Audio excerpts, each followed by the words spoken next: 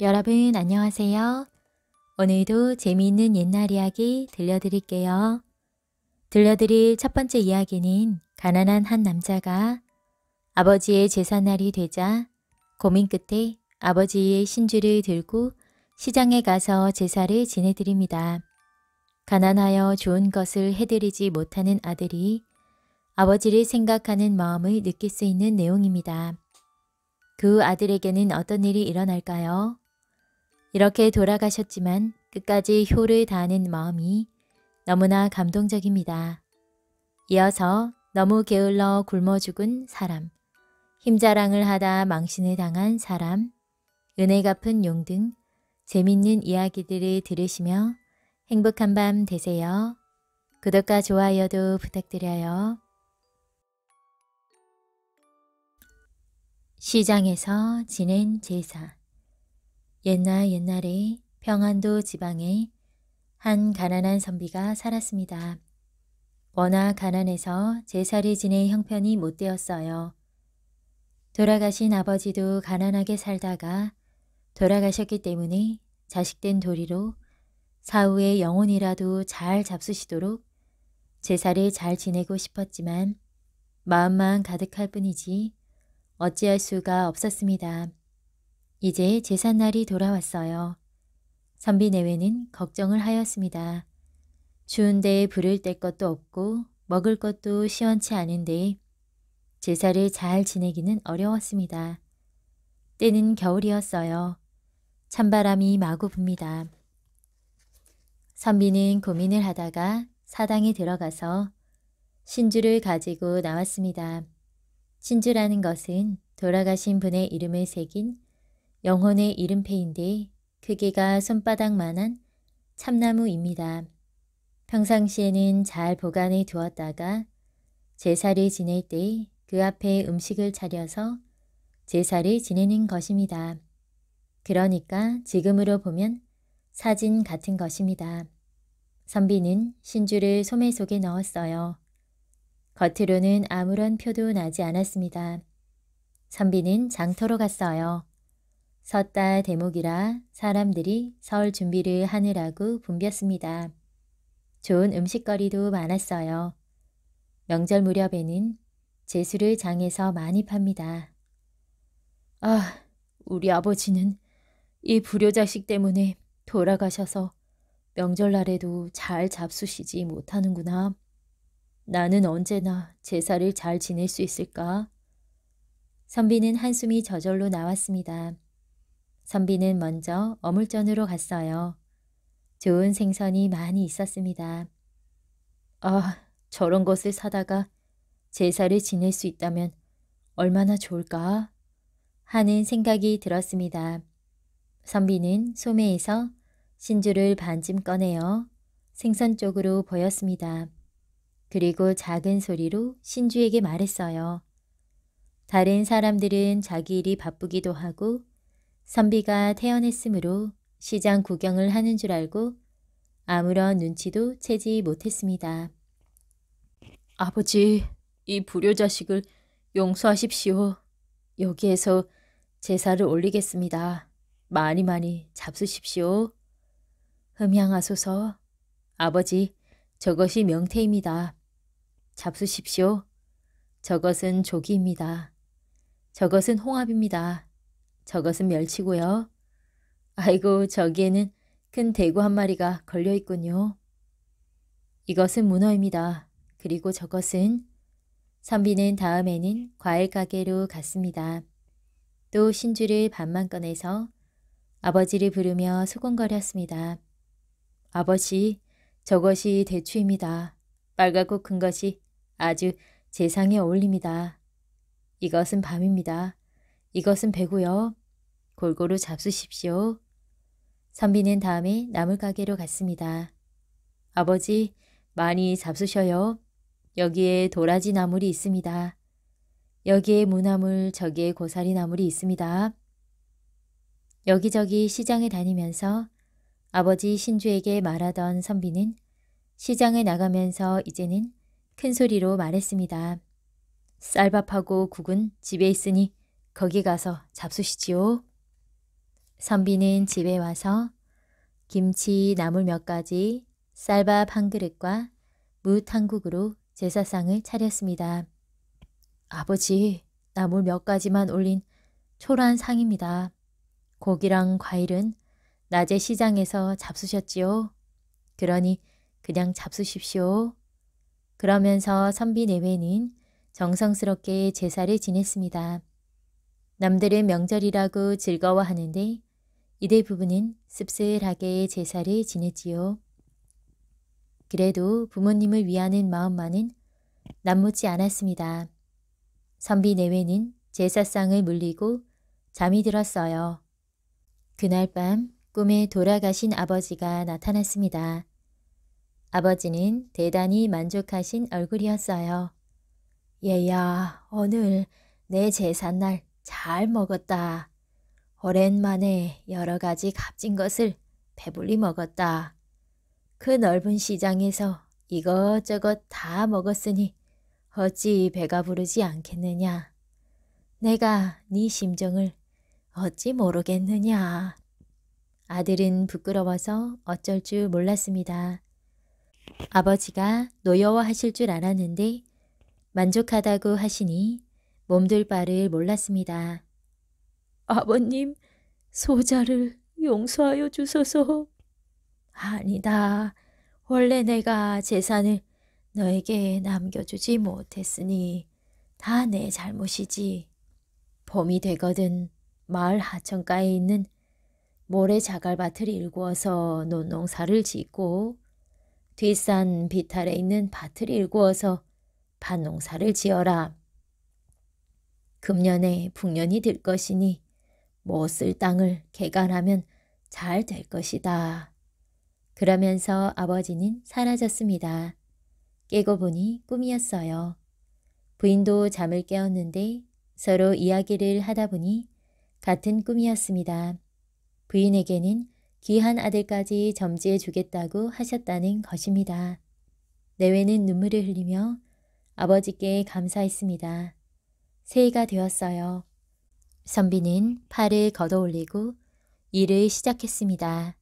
동네 사람들이 그런 쓸모없는 땅을 일구어서 무엇 하느냐고 하면서 자기들 논밭을 붙이라고 하여도 아버지가 현몽하여 알려주신 대로 열심히 개간을 하였습니다. 오늘은 냇물가에서 내일은 산기슭에서 부부는 열심히 일했습니다. 일한 보람이 있어 그 해에 풍년이 들어서 많은 수확을 거두었습니다. 다른 사람들은 놀랐습니다. 어떻게 그리 앞날을 잘 알았느냐고 여러 사람이 물었지만 선비는 미소만 지었지요. 이제 식량 걱정은 하지 않아도 되었습니다. 형편이 좀 피기 시작한 것입니다. 이듬해에는 작년에 손댄 곳을 더 넓혔습니다. 차차 재산이 늘어갔습니다. 옛말에 소복은 재근이고 대복은 개천한다 라는 말이 있습니다. 보통 부자가 되는 것은 부지런히 제일 일하는 말입니다. 나라에서 제일 가는 큰 부자는 하느님이 미리 정해주지만 작은 부자는 본인의 부지런에 달렸다는 것입니다.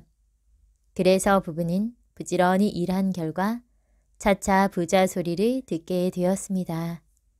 그 사이에 귀한 옥동자도 나왔습니다. 아기는 무럭무럭 잘 자라고 집안 형편도 피어서 남 부러울 것이 없었습니다. 부부는 돌아가신 아버지를 더욱 받들고 제사를 더욱 잘 지냈습니다.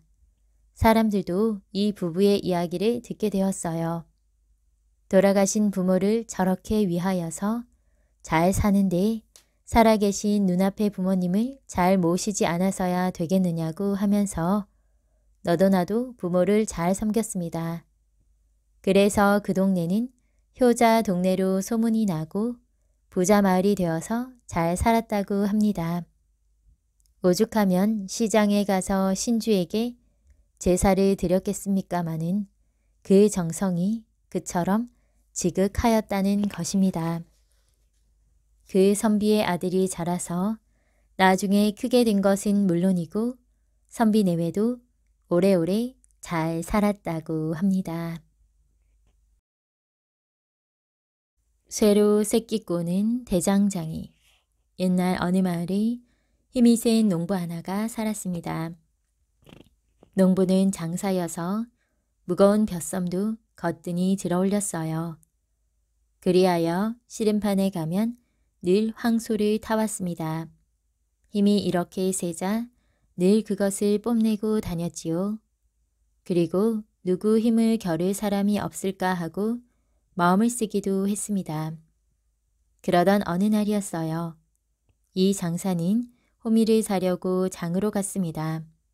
그런데 장사가 호미를 파는 대장간으로 들어서니 대장장이는 곱사등이였습니다. 등이 호미처럼 굽은 곱사등이가 호미를 만드는 것을 보니 참으로 우스꽝스럽기 짝이 없었습니다. 그래서 장사는 대장장이를 좀 놀려주고 싶은 심술이 생겼어요. 그래서 장사가 힘을 주어 호미를 쥐자 그 단단한 쇠가 마치 엿가락처럼 눅진눅진하게 쫙 펴졌습니다. 그것은 자기의 힘을 자랑하는 좋은 본보기가 되었습니다. 이봐요 곱사등이 당신 등도 이 호미처럼 쫙 펴보시오. 보기 꼴사납단 말이오. 장사는 대장장이를 보고 이렇게 놀려주었습니다. 그러나 대장장이는 놀림을 받고도 잠시 동안은 잠자코만 있었습니다. 그러다가 무엇을 생각했는지 그 펴놓은 호미를 소나기 속에 넣었습니다. 대장장이는 그 펴놓은 호미를 휘어잡아 뱀의 새끼를 꼬았습니다. 쇠로 새끼를 꼬다니 정말 놀라운 일이 아닐 수가 없었지요. 그렇게도 힘자랑을 하고 조금 전까지만 해도 대장장이를 깔보던 장사도 이 광경을 보자 그만 기가 꺾이고 말았습니다. 형님, 제발 살려주십시오. 형님을 몰라보고 아까는 너무나 큰 신뢰를 했습니다. 장사는 땅바닥에 무릎을 꿇고 손이야 발이야 하고 빌었습니다. 그리고 하늘 높은 줄 모르고 뽐내기만 했던 자기 자신이 너무나도 어리석었다는 것을 깨달았지요. 이윽고 대장장이가 엎드리고 있는 장사 가까이로 다가왔습니다. 그러고는 장사의 어깨를 가벼이 두드렸습니다. 이봐 젊은이 일어나게나. 자네처럼 하늘 높은 줄 모르고 우쭐거려서는 못 쓰는 법. 나도 옛날엔 자네 이상으로 힘 깨나 썼지. 하지만 그 힘만 믿고 우쭐거리다가 뜻하지 않은 사고로 이렇게 곱사등이가 되었다네. 모두가 어리석었기 때문이 아닌가. 예로부터 나무 타기 잘하는 놈은 나무에서 떨어져 죽고 물질 잘하는 놈은 물에 빠져 죽는다고 했지. 자네 내 말 알아듣겠는가? 예 형님 알겠습니다. 앞으론 절대로 쓸데없는 힘자랑을 하지 않겠습니다. 형님 가르쳐 주셔서 정말 고맙습니다. 이리하여 장사는 그 뒤로 정말 힘자랑을 하는 일이 없었답니다. 굶어 죽은 게으른 뱅이 옛날 어느 마을에 한 부부가 살았습니다. 그런데 남편은 게을러서 손끝 하나 움직이기를 싫어했습니다. 얼마나 게으른지 변소 가기가 싫다면서 요강을 방에다 들여놓고 오줌을 누웠습니다. 그리고 1년 12달이 가도 세수하는 일이 없었으며 숟가락질 하는 것을 귀찮아해서 밥도 아내가 떠먹여 주어야 먹었습니다. 그렇기 때문에 아내가 남편 대신 두부 장사를 하여 겨우 먹고 살았습니다. 아내는 빈둥빈둥 놀기만 하는 남편이 몹시 미웠지만 어쩔 수가 없었습니다. 그러던 어느 날이었어요.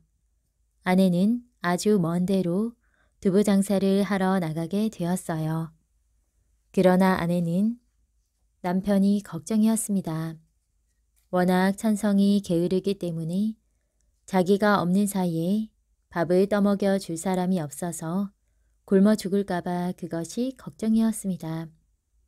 그래서 게으름뱅이 아내는 남편이 그동안에 굶어 죽지 않을 무슨 방법이 없을까 하고 골똘히 생각해 보았지요.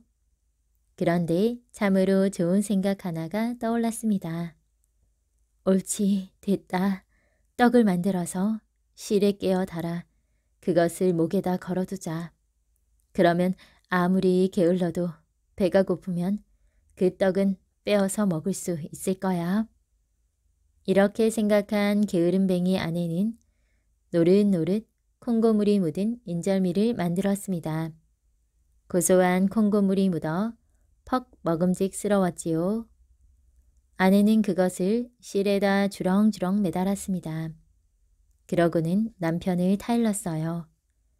여보, 내가 먼 데까지 장사를 나가게 되었어요. 아무래도 며칠 동안은 집에 못 올 것 같아요. 그럼 내 밥은 누가 떠먹여 주지? 가지 마라. 난 싫단 말이야. 하지만 장사를 해야 우리가 먹고 살지요. 그래서 내가 없어도 당신이 굶지 않게 이렇게 인절미를 실에다 꿰어 달아놓았어요.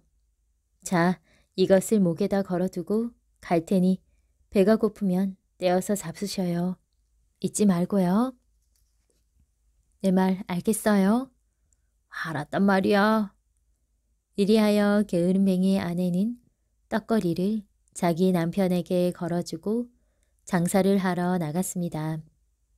그러나 장사를 하고 다니면서도 늘 마음은 집에 있는 남편에게로 쏠렸습니다. 워낙 게을러서 그 떡을 먹기나 하는지 걱정스러웠어요. 며칠이 지난 뒤 아내는 장사를 마치고 집으로 돌아왔습니다. 그러나 집에서는 참으로 끔찍한 일이 기다리고 있었어요. 남편이 죽어 쓰러져 있었습니다. 아내가 떡거리를 살펴보니 자기가 달아주고 간 그대로였습니다. 남편은 게을러서 그것조차도 떼어먹지 않고 그대로 굶어 죽었던 것입니다. 은혜 갚은 용 옛날 깊은 산골에 일찍이 부모를 여인 어떤 총각이 혼자 살았습니다. 이 총각은 마음씨가 매우 어질고 착했으며 일도 부지런히 했지요. 어느 날 총각은 깊은 산골에서 나무를 하고 있었습니다. 그런데 너무도 힘이 들어 이마에는 구슬 같은 땀방울이 맺혔습니다. 총각은 좀 쉬었다가 하려고 잔디 위에 주저앉아 땀을 배수건으로 닦고 있었습니다. 그런데 그때였어요. 부스럭부스럭 낙엽을 헤집고 큰 구렁이 한 마리가 나타났습니다. 총각은 깜짝 놀라 벌떡 일어섰습니다. 그러자 구렁이는 두 혀끝을 비비면서 참으로 뜻밖의 말을 하였습니다. 정각 하나도 놀랄 것 없어. 나는 용이 되어 하늘로 올라가려고 이 산에서 수도를 하고 있단다. 제발 나를 좀 도와주지 않겠니? 그러면 나도 총각을 도와줄 테니 말이야. 그래? 처음 듣는 이야기로구나. 아니, 나더러 무엇을 도와달라는 거니? 어디 말이나 좀 해보아라. 그럴게. 그러자면 우선 내가 하고 있는 수도 이야기부터 해야겠구나. 내가 용이 되어 하늘로 올라가자면 천명의 처녀의 똥을 먹어야 된단 말이야. 그것도 이제 막 누워 뜨끈뜨끈한 똥이라야 되거든. 나는 오늘날까지 999명의 처녀 똥을 먹었는데 아직 한 명의 처녀 똥을 먹지 못했어. 그래서 아직 용이 못 되고 이러고 있는 거야. 그 한 명을 구하기가 참으로 어렵구나. 똥을 눌 때를 보지 않으면 그것이 어른 똥인지 아이 똥인지 그리고 처녀 똥인지 부인 똥인지 통알 수가 없단 말이야.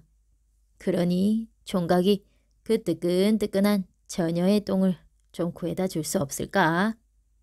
듣고 보니 참 딱하기도 하려니와 우습기도 했습니다.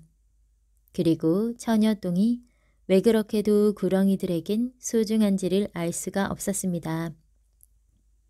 글쎄 말야, 너의 이야기를 듣고 보니 참으로 딱하구나. 총각, 나를 꼭 도와줘. 그 은혜 잊지 않을게. 그런데 꼭 처녀똥이라야 하니? 음, 그러니까 어렵지. 그것도 이제 간눈 뜨끈뜨끈한. 총각은 얼마 동안을 눈을 감고 생각해 보았습니다. 가만히 있자. 좋은 생각이 떠올랐어. 총각은 두 눈을 크게 뜨며 무릎을 탁 쳤습니다. 그동안에 무슨 좋은 생각이 떠올랐나 봅니다. 총각, 어서 말해봐. 그 생각이 어떤 생각인가를 속 시원히 들려줘. 네가 우리 집으로 따라오면 돼. 아, 아니, 내가 총각네 집으로. 그럼 총각네 집에 처녀가 있단 말이야. 아니야, 우리 집엔 아무도 없고 나 혼자만 살아. 그럼 처녀도 없는데 내가 총각네 집으로 갈 필요가 없잖아. 그것도 맞는 이야기였습니다. 구렁이의 이야기가 옳았습니다. 그런데 말이야, 우리 앞집에 예쁜 처녀가 살거든. 그래, 그거 참 잘 됐구나. 그래서 나를 총각네 집으로 가자고 했구나. 음, 그런데 말이야. 그 처녀에겐 이상한 버릇이 있단 말이야. 아니, 어떤 버릇인데? 총각은 얼른 대답을 하지 않고 연방 벙글거리기만 했습니다. 총각, 혼자만 웃지 말고 그 처녀의 버릇을 얘기해봐. 자꾸 웃음부터 나오네. 그 처녀가 말이야. 늘 아침마다 자기 집 뒷곁에 와서 똥을 눈단 말이야. 우리 집과 그 처녀 집 사이에는 낮은 담이 있는데 우리 집에서 보면 다 보이거든. 참으로 우습지 않아? 다 큰 처녀가 뒷간에서 똥을 누지 않고 꼬마들처럼 뒷곁에서 눈이 말이야. 그래, 그거 참 우습구나. 그러니 네가 나를 따라가 그 토담 밑에 숨어 있다가 처녀가 똥을 누고 가면 주워 먹으란 말이야.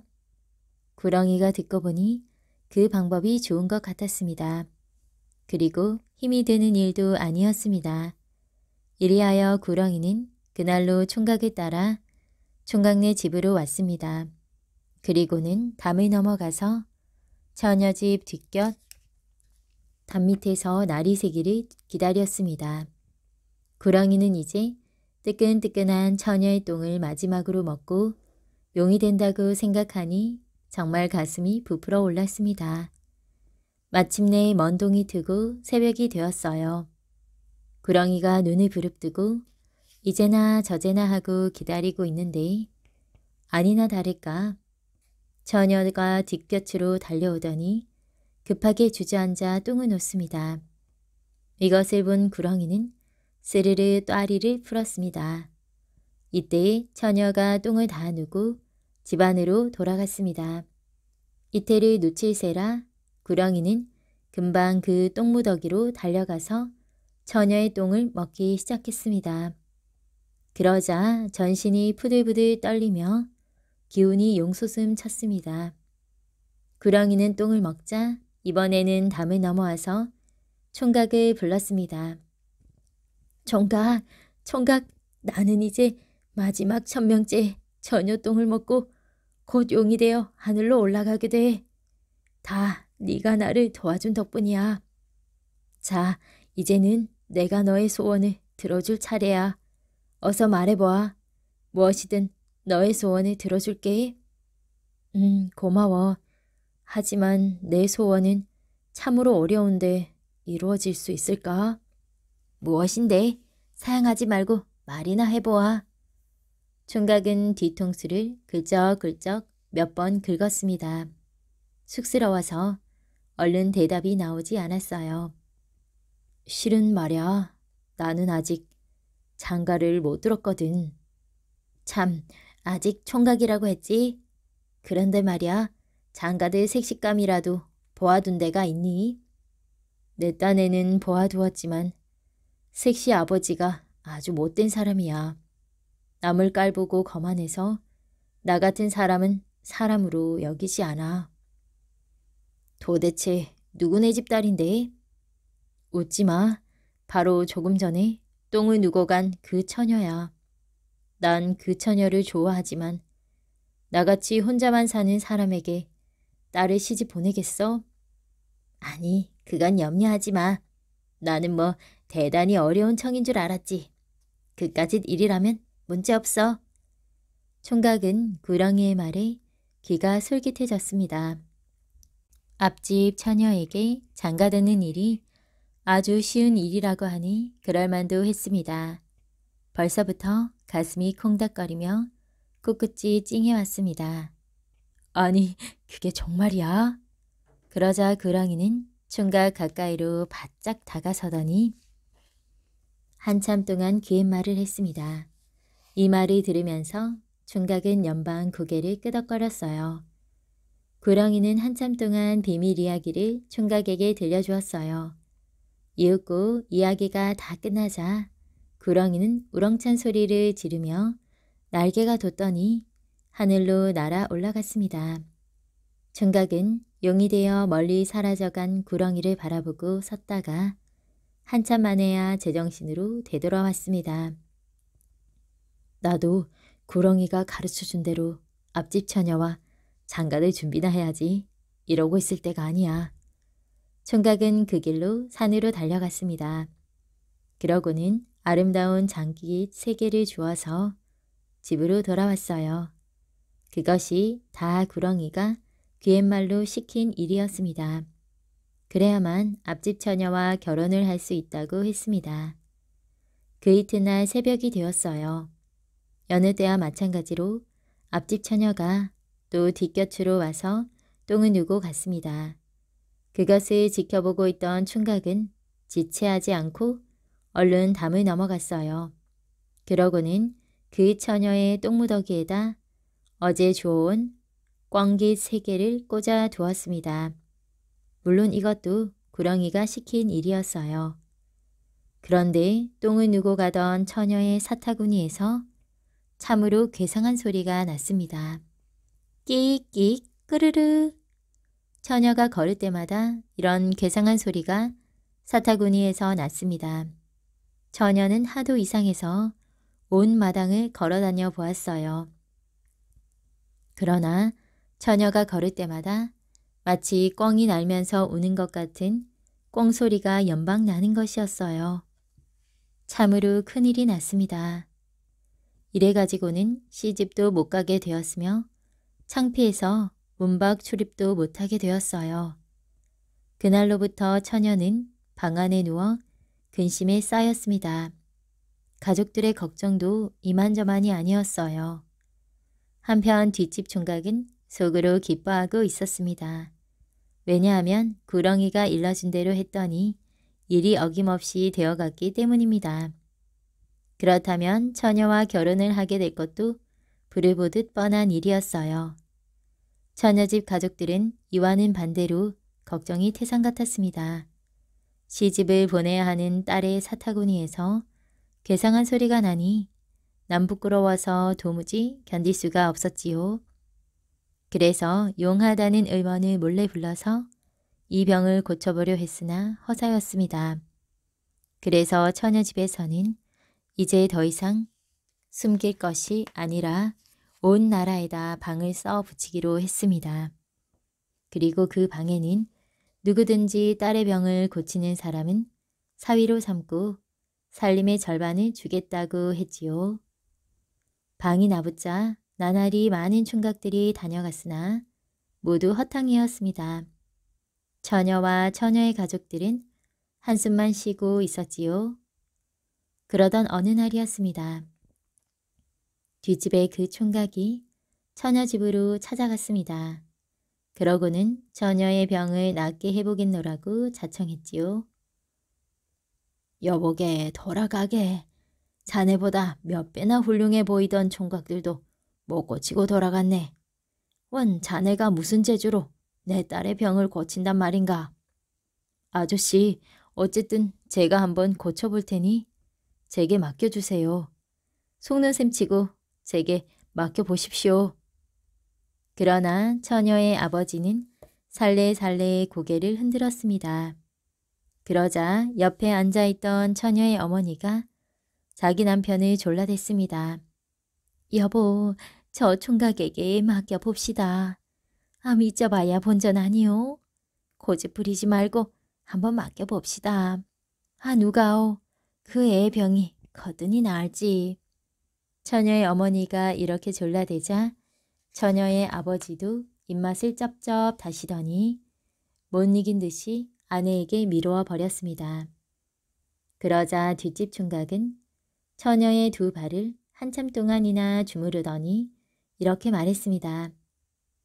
내일 아침에 한번 걸어보셔요. 그러면 틀림없이 끼익 소리 하나는 안 날 것입니다.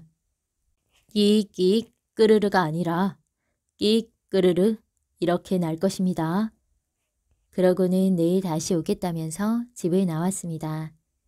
가족들이 듣고 보니 아무래도 믿기 어려운 말이었습니다. 그러나 저러나 내일을 기다려보는 수밖에 없었지요.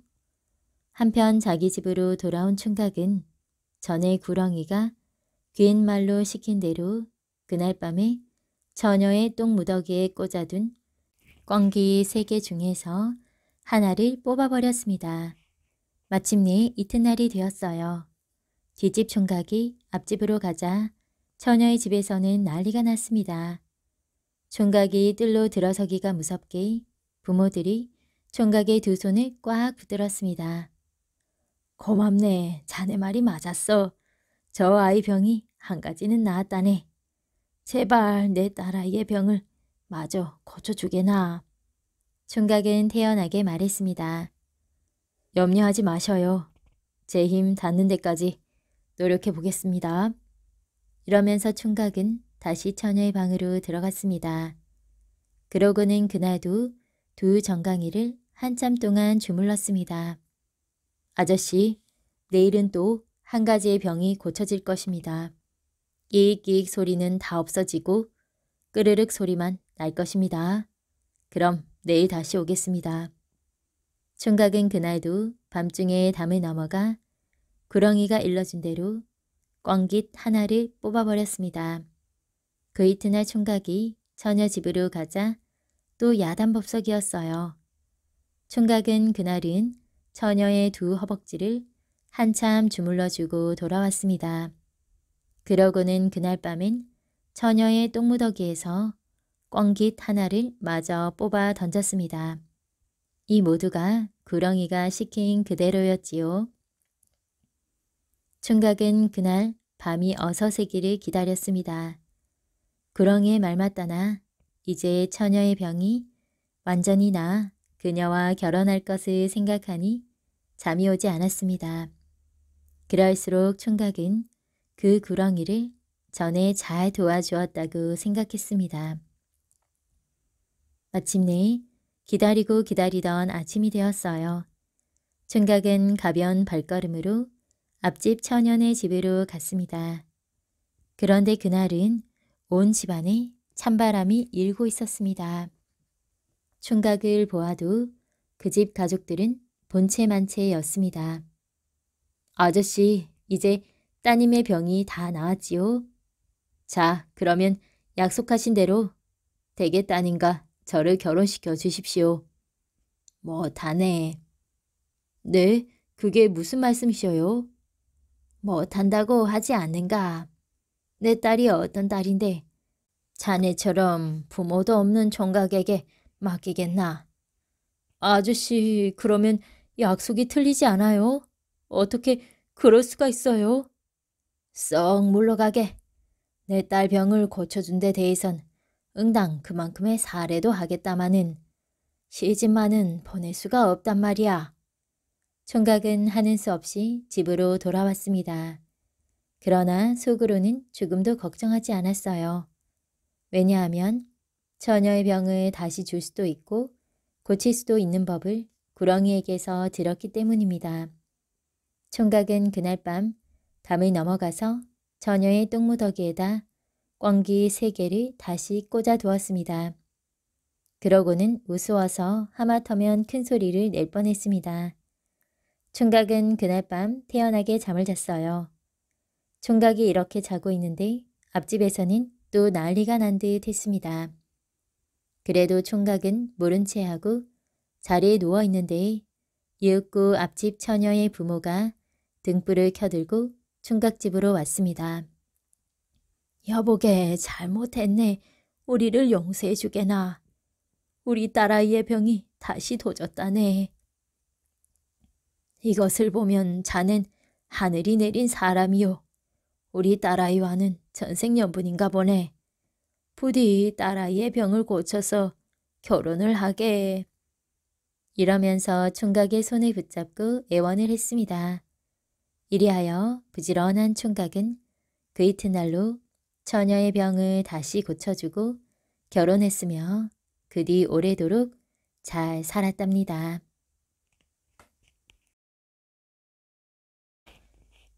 새들의 말을 알아듣는 아이 옛날에 새들이 하는 말을 알아듣는 아이가 있었습니다. 하루는 서당에 가는데 나무 위에서 까마귀가 요란하게 울고 있었어요. 다른 사람 귀에는 그저 까옥까옥하고 들릴 뿐이었지만 아이의 귀에는 사람이 죽었다, 저 집에 사람이 죽었다 하는 소리로 들렸습니다. 아이는 그 집으로 달려가 보았습니다. 과연 그 집에는 사람이 죽어 있었어요. 아이는 놀라서 밖으로 뛰쳐나오며 소리를 질렀어요. 아이쿠, 사람이 죽었다. 마침 대문 앞을 지나던 어떤 사람이 이 아이를 붙잡았어요.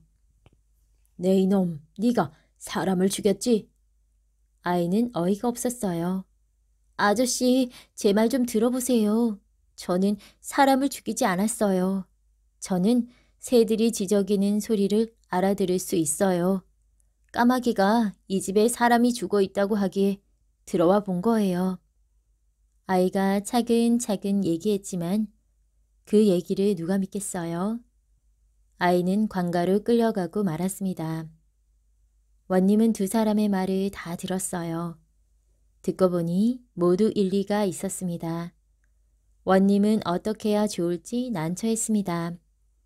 원님이 어떤 판결을 내려야 할지 고민하고 있는데 제비 울음소리가 들렸습니다. 처마 끝을 보니 어미 제비가 새끼들에게 먹이를 물어다 주고 있었어요. 원님이 무릎을 지면서 미소를 지었습니다. 좋은 생각이 난 거예요. 원님은 사람들 모르게 얼른 새끼 제비 한 마리를 잡아 소매 속에 넣었습니다. 그러고는 아이를 불러 어미 제비가 뭐라고 하는지 물어봤어요. 아이는 귀 기울여 어미 제비의 울음소리를 듣더니 말했어요. 예, 어미는 원님께서 자기 새끼를 데려가 소매 속에 넣었다고 합니다. 빨리 새끼를 돌려달라고 울고 있습니다. 원님은 그 말을 듣고 이 아이가 새들의 말을 알아듣는다는 것을 믿게 되었습니다. 이 아이는 사람을 죽일 아이가 아니다. 원님은 아이를 풀어주었어요. 이 일이 있고 얼마 뒤 이웃 청나라에서 연락이 왔습니다. 조선의 인재를 급히 찾는다는 것이었습니다. 소식을 들은 원님은 임금에게 말해서 아이를 청나라로 보냈습니다.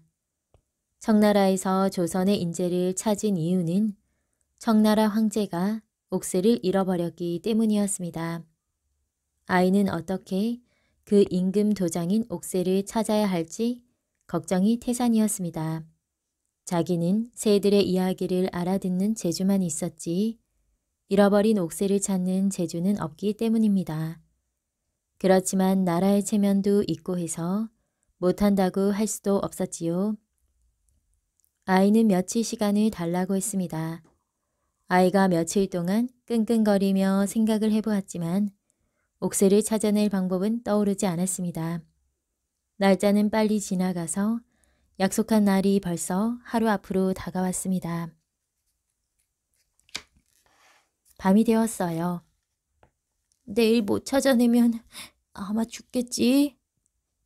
아이는 답답한 마음에 크게 소리치며 방바닥을 손으로 쾅쾅 쳤습니다. 그때 방 밑에서 누군가가 뛰어나와 넙죽 엎드렸습니다. 제발 목숨만 살려주십시오. 그 사람은 바로 옥새를 훔쳐간 도둑이었어요. 도둑은 조선에서 인재가 왔다고 하니까 동정을 살피기 위해 아이가 자는 방 밑에 숨어 있었던 것입니다. 아이는 깜짝 놀랐지만 겉으로는 태연하게 물었어요. 당신이 옥새를 훔쳐갔나요? 예, 제, 제가 훔쳐갔습니다. 제발 목숨만 살려주십시오. 도둑은 두 손을 머리 위로 올리고 정신없이 빌었습니다. 당신 이름이 무엇인가요? 제 이름이 아마입니다. 도둑의 이름을 들은 아이는 그제서야 어찌된 일인지 알게 되었습니다. 아이가 내일이면 아마 죽겠지라고 했던 말을 이 도둑은 자기가 잡혀서 죽는다는 소리로 알아들었던 겁니다. 옥새를 내놓으세요. 그러면 살려줄 테니까 멀리 도망가세요. 아이가 근엄한 표정으로 말했어요. 도둑은 품 안에서 옥새를 꺼내 두 손으로 아이에게 바쳤습니다. 여기 있습니다. 어서 가시오. 아이가 옥새를 받고 도둑에게 손짓을 하자 도둑은 다리야 날 살려라 하고 도망을 쳤습니다. 다음날 아이는 옥새를 청나라 황제에게 돌려주었습니다. 황제는 기뻐하며 아이에게 무엇이든 들어줄 테니 소원을 말하라고 했지요. 몇 번을 물어도 아이는 소원이 없다고 했습니다. 그러자 황제는 온갖 보물로 큰 상을 내렸습니다. 아이가 보물을 가지고 조선으로 돌아오는 길이었어요. 아이가 막 압록강을 건너려고 하는데 옥새를 훔쳐갔던 도둑이 나타나 아이를 붙잡았습니다. 난 당신 목숨을 살려준 사람이에요. 어째서 은혜도 모르고 나를 죽이려고 합니까? 네가 진짜 인재라면 내 주먹 속에 무엇이 있는지 알아맞혀 보아라. 알아맞히면 살려주마. 도둑이 주먹을 내밀었습니다. 아이는 주먹 속에 무엇이 들어있는지 알 리가 없었지요. 이제 이 개구리는 죽었구나. 아이는 힘없이 말하며 한숨을 쉬었어요. 아이의 어릴 때 별명이 개구리였거든요. 도둑은 아이의 말에 깜짝 놀라며 주먹을 펴 보였습니다. 도둑이 주먹을 펴니 그 속에서 개구리가 펄짝 뛰어나왔어요. 과연 너는 보통 아이가 아니구나. 내가 잘못했다. 이제 나쁜 짓은 그만하고 제발 착하게 사세요. 아이는 이렇게 죽을 고비를 넘기고 무사히 우리나라로 돌아왔습니다. 임금님은 아이가 나라를 빛냈다며 평양 감사 벼슬을 내려주셨습니다.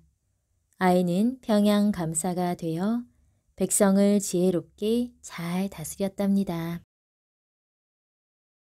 함정에 빠진 호랑이와 두꺼비의 재판 한 스님이 호젓한 산길을 걸어가고 있었습니다. 여보시오, 누가 날 좀 구해주시오. 스님이 깜짝 놀라 주위를 살펴보았습니다. 여보시오, 어서 나 좀 구해주시오. 호랑이 목소리였어요.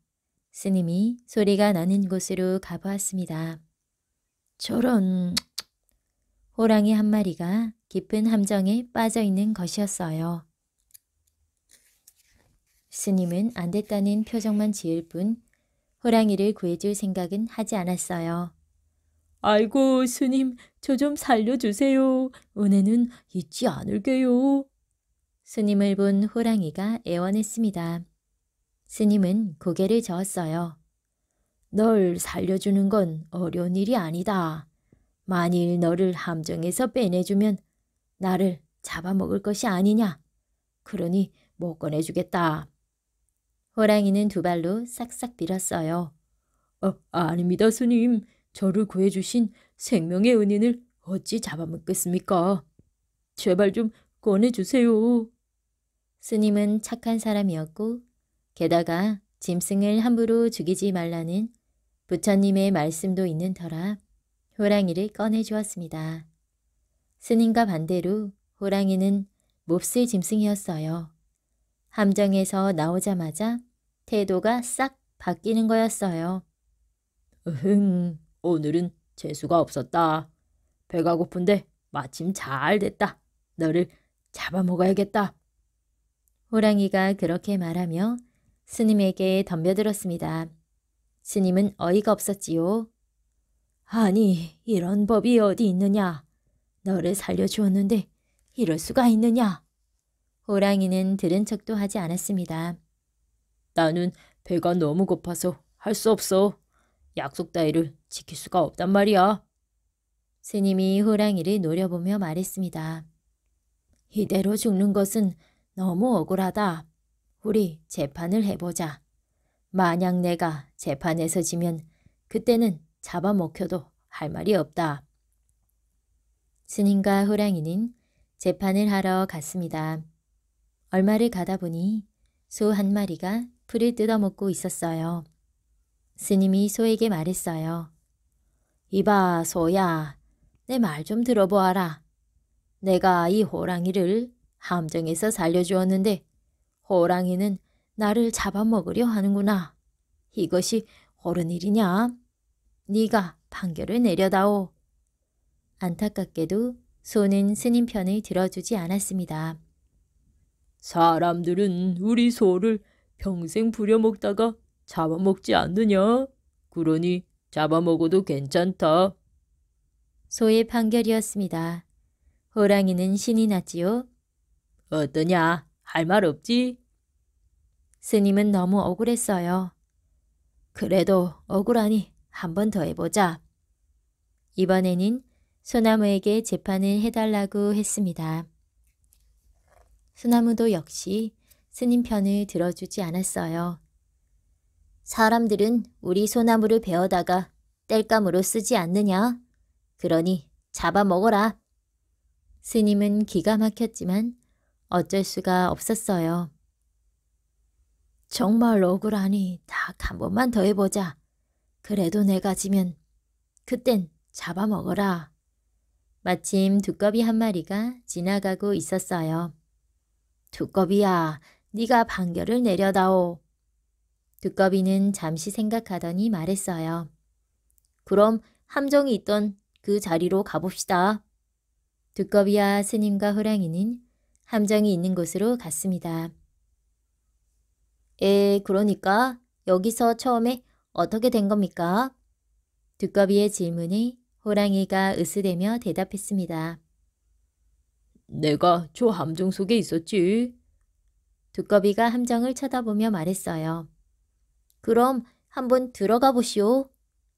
호랑이는 함정 속으로 뛰어 들어갔습니다.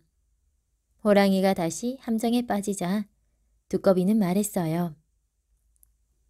자, 스님, 이제 재판이 끝났으니 스님 갈 대로 가십시오. 나는 바빠서 먼저 가겠습니다. 두꺼비는 호랑이를 흘깃 한번 보고는 느릿느릿 걸어갔어요. 그때서야 호랑이는 속은 것을 알았습니다. 함정에 빠진 호랑이는 소리쳤습니다. 어, 이봐, 그냥 가면 어떡해. 나 좀 꺼내줘. 이번에는 정말로 안 잡아먹을게. 스님은 들은 척도 하지 않고 재빨리 도망갔습니다. 호랑이는 함정 속에서 온갖 짓을 다해서 간신히 밖으로 나왔지요. 호랑이는 두꺼비를 잡으러 쫓아갔습니다. 워낙 걸음이 느린 두꺼비는 얼마 도망가지 못하고 잡히고 말았어요. 호랑이는 씩씩대며 악을 썼습니다. 요놈, 네가 뛰어봤자 벼룩이지. 요 조그만 놈이 나를 놀려. 잡아먹고 말 때다. 두꺼비는 웃으면서 느릿느릿 말했어요. 이봐, 호랑이야. 날 잡아먹어도 너무 작아 배가 부르겠냐? 그러니까 우리 집에 가자. 집에는 내 마누라도 있고 자식도 있고. 그러니 우리 식구 다 잡아먹으면 배가 부르지 않겠니? 우리 집으로 가자. 호랑이는 좋다고 하며 두꺼비를 따라갔습니다. 두꺼비의 집은 커다란 바위 밑에 있었습니다. 집 앞에 온 두꺼비는 말했어요. 여기가 내 집인데 조금만 기다리고 있어. 내가 들어가서 마누라랑 새끼들을 불러올 테니까. 집 안으로 들어간 두꺼비는 밖으로 나오지 않았습니다. 한참 기다리던 호랑이가 두꺼비 집으로 들어가려고 했지만 너무 작아서 들어갈 수가 없었어요. 호랑이는 또 속은 거였어요. 너무나 약이 올랐습니다. 호랑이는 두꺼비 집을 부수겠다고 큰 바위를 머리로 들이받았습니다. 그러나 큰 바위에 깔려 호랑이는 끝끝내 죽고 말았답니다. 금을 낳는 손. 옛날하고도 옛날 그 옛날의 일입니다. 어느 시골에 매우 가난한 사람이 살았어요. 이 집안은 대대로 가난하여 찬바람이 나는 듯 했습니다. 그러던 어느 날이었어요. 먼 곳에 사는 친척 한 사람이 찾아왔습니다. 친척은 가난하게 사는 이 사람을 보자 치근한 생각이 들었어요. 여보게 정말 고생이 많네. 자네같이 마음씨 곱고 부지런한 사람이 이렇게 못 살다니 어디 말이나 되나. 정말 하늘도 무심하시지. 아닙니다. 제가 태어날 때 복을 타지 못해서 그런가 봅니다. 어때 내 말 듣겠나? 매일 밤 자정에 뜰에다 자리를 깔고 정한수 떠놓고는 전지신명께 지성을 드려보게. 자네같이 어진 사람은 지성이 지긋하면 하늘도 소원을 들어줄 걸세. 이렇게 권했습니다. 사실 옛날엔 이런 미신을 믿는 사람이 많았지요. 기뻐도 슬퍼도 천지신명께 아뢰고 자기의 소원이나 꿈이 이루어지도록 천지신명께 빌었습니다. 친척이 돌아가자 가난한 사람은 친척이 권하는 대로 매일 밤 천지신명에게 치성을 드렸습니다. 엎드려 삼가 천지신명께 비나이다. 저의 소원은 그저 금을 많이 가지는 것입니다. 저의 손이 닿는 것은 모두 금이 되게 해주옵소서. 가난하게 사는 저의 소원을 들어주시기를 간절히 비나이다. 이렇게 말하며 절을 하였습니다. 골똘히 금덩어리만을 생각하며 몇 번이고 몇 번이고 절을 했습니다. 수십 번, 수백 번 지쳐 쓰러질 때까지 무수히 되풀이해서 절을 했습니다. 그러다가 가난한 사람은 지쳐서 마침내 자리에 쓰러지고 말았어요. 그런데 내려다보니 절을 할 때 손을 짚었던 자리가 금으로 변해 있었습니다. 참으로 신기한 일이었어요. 이것을 본 가난뱅이는 기뻐서 어쩔 줄을 몰랐습니다. 자기의 소원대로 이루어졌습니다. 가난뱅이는 일어서서 덩시덩시 춤을 추었어요. 자기의 소원을 들어준 천지신명도 고맙고 며칠 전에 찾아왔던 그 친척도 고맙기 이를 데 없었습니다. 사실 그 친척이 가르쳐 주지 않았더라면 오늘의 이 기쁨을 얻을 수가 없었을 것입니다. 가난뱅이는 한참 동안 춤을 추다가 마루로 올라갔어요. 그러고는 기둥을 만져보았습니다. 그런데 또 이게 웬일입니까? 이번에는 기둥이 금기둥으로 바뀌었습니다. 가난뱅이는 눈이 번쩍 뜨였어요. 이번에는 마루를 만져보았습니다. 그 순간 마루도 금마루로 바뀌었어요. 가난뱅이는 모든 것이 금으로 바뀌어가자 하늘에라도 올라간 듯 기뻐서 어쩔 줄을 몰랐습니다. 가난뱅이는 이 기쁨을 아내와 아이들에게 알려야겠는데 그날 밤엔 아내도 아이들도 집에 없었습니다. 아내는 그날 낮에 아이들을 데리고 친정에 가고 없었지요. 친정에 가서 양식이라도 얻어온다면서 갔는데 그날 밤은 친정에서 자는 모양이었습니다. 가난뱅이는 이럴 때 하늘이 날수 있으면 얼마나 좋을까 하고 생각해 보았습니다. 훨훨 처갓집으로 날아가 이 기쁜 소식을 아내와 귀여운 아이들에게 전할 수도 있으련만 가난뱅이는 방으로 들어갔습니다. 아내의 찌그러진 농이며 반지꼬리가 눈에 띄었어요. 손때가 묻고 일그러져 참으로 초라해 보였습니다. 가난뱅이는 얼른 그것들을 손으로 쓰다듬었어요. 그러자 그것들도 그 순간 누런 금으로 바뀌었습니다. 이번에는 벽을 만지고 방바닥도 만졌습니다. 그것들 역시 만지는 순간 다 금으로 바뀌었어요. 무엇이든지 손에 닿기만 하면 다 금으로 바뀌었습니다. 가난뱅이는 잠이 오지 않았어요. 아니 너무나 기뻐서 도저히 그대로 잘 수가 없었습니다. 가난뱅이는 노래를 부르기 시작했습니다. 그러면서 어서 밤이 새어 날이 밝기를 기다렸어요. 동만 트면 집안의 모든 것들을 다 금으로 만들어 놓고 아내와 아이들이 돌아오면 깜짝 놀라고 기쁘게 해주려고 했지요. 이제 아내가 양식을 얻으러 친정에 가지 않아도 넉넉하게 살 수 있게 되었다고 생각하니 너무나 기뻤습니다. 마침내 날이 새어 아침이 되었어요. 가난뱅이는 뜰로 나갔습니다. 뜰에 있는 담이며 나무를 손으로 만져 모두 금으로 바뀌었어요.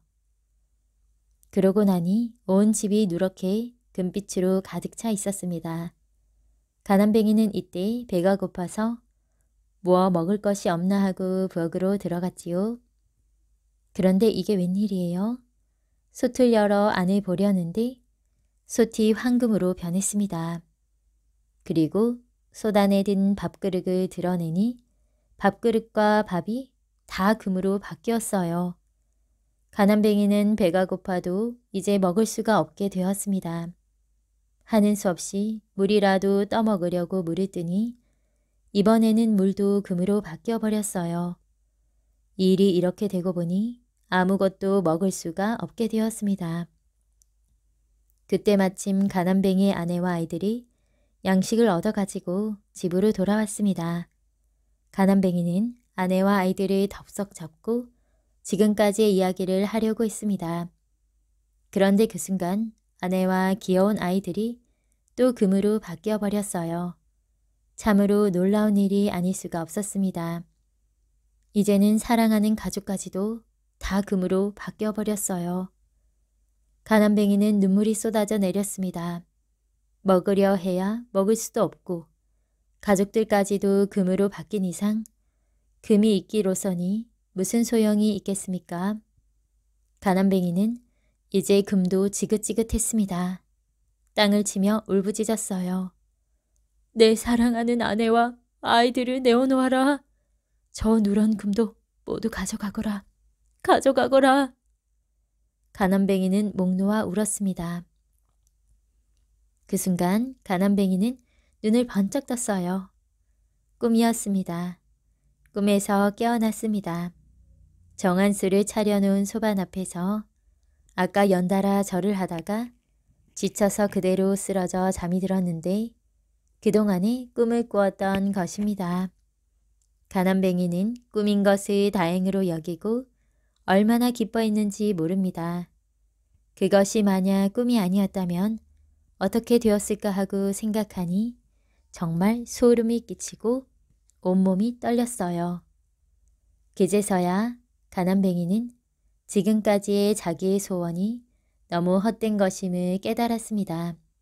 사람이란 헛된 욕심을 부리지 말고 자기 분수대로 살아가야 한다는 진리를 뼈저리게 깨우쳤답니다. 괴물의 새끼 사랑 아주 오래전 일이었어요. 식구들을 먹여 살리기 위해 먼 곳으로 길을 떠난 남자들이 있었어요. 넓은 들판을 가로질러 가던 남자들은 풀이 우거진 무릉덩이를 발견했습니다. 무릉덩이 둘레에는 갈대가 가득했어요. 남자들이 사는 나라에서는 갈대 뿌리가 양파만큼이나 사람들이 좋아하는 음식 재료였어요. 그래서 갈대 뿌리를 모아 마을로 가져가기로 했어요. 남자들은 물 웅덩이로 들어가 갈대를 뽑기 시작했습니다. 그때 누군가 이렇게 말했어요. 우리가 여자들이 해야 할 일을 하면서 시간을 이렇게 허투루 써도 되나? 가서 아이들과 여자들을 데려와 이 일을 하라고 하고 우리는 낚시를 하는 게 어떨까?